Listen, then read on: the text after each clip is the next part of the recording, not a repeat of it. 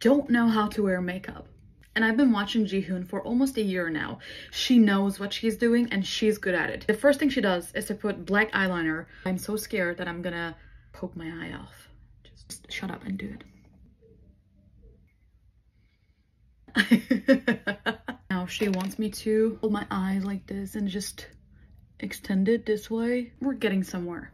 Okay, she says take a very dark brown. I think this and she's using her fingers, and I don't mind using my own finger. What? The woman was too stunned to speak. No!